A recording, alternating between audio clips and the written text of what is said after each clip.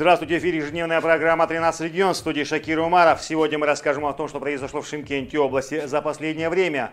Наша съемочная группа зафиксировала несколько происшествий, но обо всем по порядку.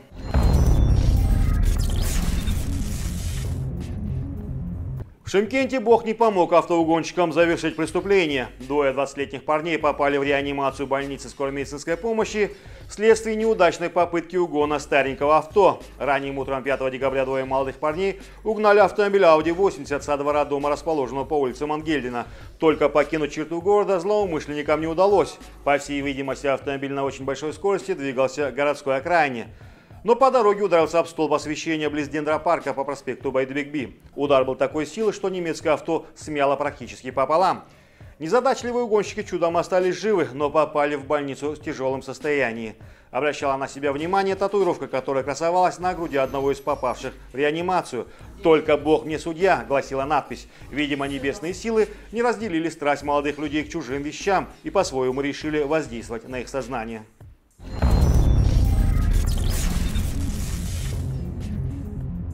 14 миллионов заработал мошенник, обещая перевести студентов на грант. Сотрудники Альфарабийского отдела полиции города Шимкент задержали жителей Южно-Казахстанской области, обманувшего десятки потерпевших, обещая им помощь в учебе. Злоумышленник предлагал своим жертвам за немалые деньги помочь в переводе на грант в одном из учебных заведений Шимкента.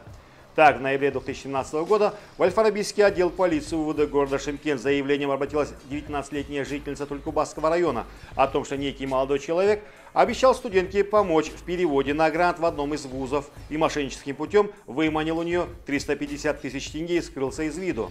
Данный факт зарегистрировали в ЕРДР по статье 190 Уголовного кодекса Республики Казахстан «Мошенничество». С аналогичными заявлениями в полицию обратились десятки жителей области.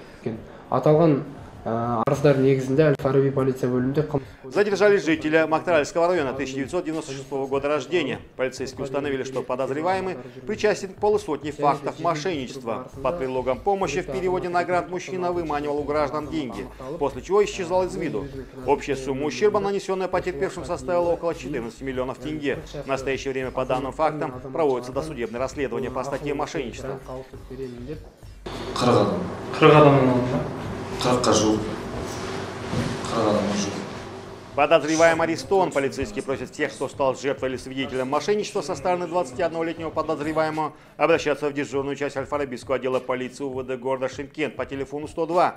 Стражи порядка рекомендуют гражданам быть бдительными и осторожными при общении с незнакомыми лицами. Не стоит быть излишне доверчивыми к незнакомцам и подаваться на уловки мошенников.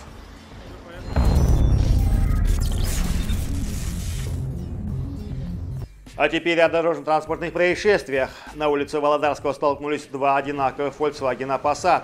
В этом происшествии пострадала пожилая женщина, пассажир одного из универсалов. Со слов очевидцев, водитель одного из немецких авто решил развернуться с первой полосы, не пропустив авто, двигавшееся по соседней полосе. Вот этот автомобиль выехал на разворот с первой полосы и ударился в машину, которая двигалась по своей полосе. Пострадала женщина-пассажирка.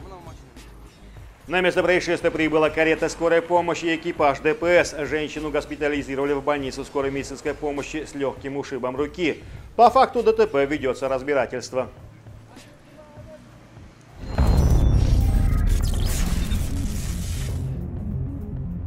Еще одно ДТП произошло в микрорайоне Самал-3 по улице Бекзада Сатарханова. Столкнулись Opel Vectra с Мерседесом 221 модели.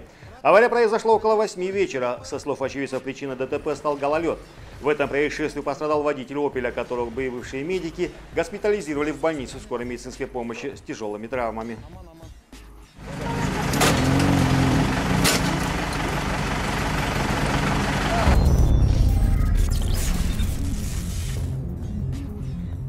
Очевидцы прислали к нам в редакцию кадры ряда дорожно-транспортных происшествий, снятых на мобильный телефон. На видеосъемке запечатлена, как на пересечении проспекта Республики с улицы Шамши-Калдаякова ВАЗ-14 модели попал ДТП. Подробности аварии не сообщаются.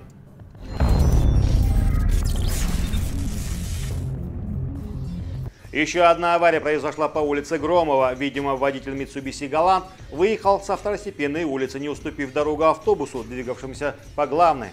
Итог печальный, потребуется ремонт машины.